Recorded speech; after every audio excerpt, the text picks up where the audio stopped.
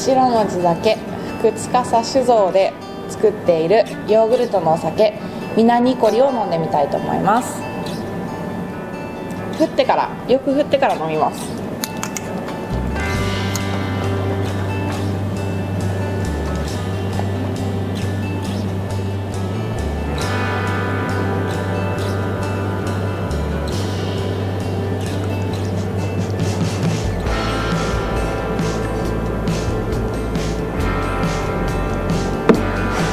じゃあ飲んでみます。いただきます。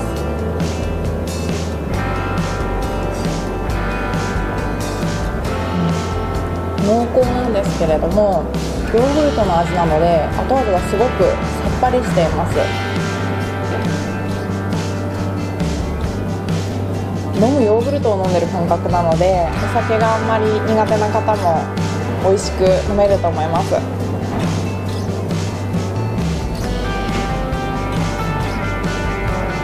これはブロックでもいいですし水割りや炭酸割りもおすすめとのことです。ぜひ皆さんも飲んでみてください。美味しいです。